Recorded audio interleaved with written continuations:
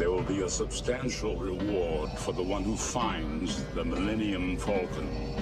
You are free to use any methods necessary, but I want them alive.